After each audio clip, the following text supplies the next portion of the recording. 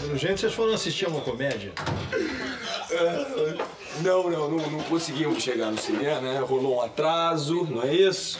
Aí ficamos lá andando pelo shopping, jantamos, mas cinema que é bom nada. Pensei que essa coisa da gravidez, cinema agora deu pra me cansar, pai. Ficar duas horas sentada realmente. Ah, imagina quando esse barrigão tiver grande de verdade. Então por que, que vocês não contam essa piada pra gente? Ô, minha não situação que você me deixa, não é piada não, pai. É querendo me levar num motel e a gente tá...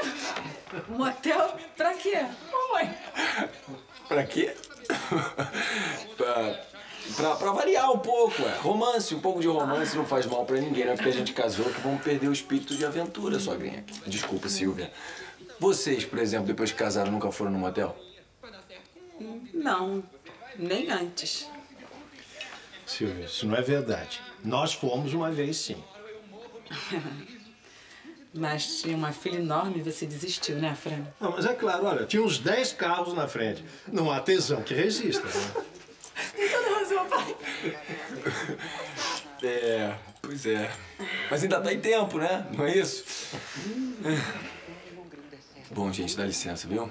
Boa noite, a gente vai Tchau, gente. pegar uma caminha agora. Boa com Deus. Eu acho que eu também vou, porque amanhã cedinho tem uma reunião. Boa noite.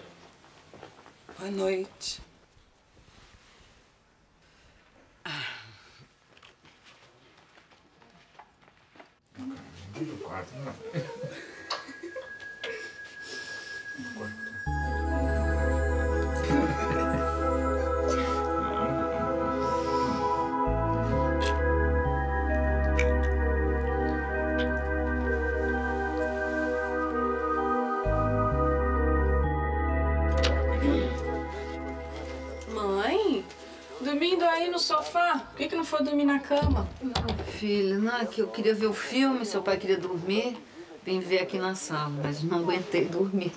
Dorme aí no sofá, depois você toma de dor na coluna, hein? E você tava onde? No hotel, Costela? Hum, não, tava aqui na cobertura da Lorena, sabia? Eu, a Lorena, Expedito e Vitinho. Comemos alguma coisa, bebemos um champanhezinho e inventamos uma brincadeira de desfilar, mãe, foi super divertido.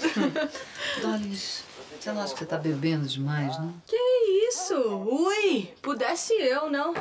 Mas agora você com essa ligação aí com a Estela. Ai, já ouvi falar tanta história dela, de festas, de homens. Hum, Muito folclore, mãe. Sabe, a Estela fica lá, sozinha, com aquela bichona do Eugênio. Praticamente nem sai da suíte do hotel, sabia? É, mas é justamente na suíte do hotel que ela pronta. Hum, fica tranquila, dona Irene, que aquilo lá parece mais um convento, sabia? Ela está tão influenciada pelo amor que sente por aquele padre, que agora deu até pra fazer caridade, sabia? É, outro dia eu fui sair com a Estela, mãe, e ela deu uma nota de 100 reais pra uma mulher que tava pedindo esmola. 100 reais? 100! Nem a mulher acreditou, veio correndo atrás da gente pra devolver achando que ela tinha dado por engano. Nossa, que mulher honesta. Ah, mãe, que mulher honesta o quê? Burra, idiota, isso sim. Ué, ué, ué, vou dormir. Boa noite, mãe. Noite, minha filha. Doris, Fala. toma cuidado. Com o quê?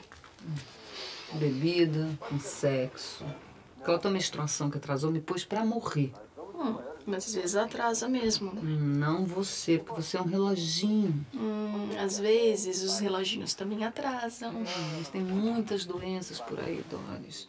Antes as pessoas morriam de medo da AIDS, então todo mundo se protegia. Agora, eu tenho lido no jornal, as pessoas começaram a relaxar, achando que a doença acabou. Ok, pode deixar. Eu vou me cuidar. Boa noite, mãe. Boa noite, meu amor pago 300 dólares.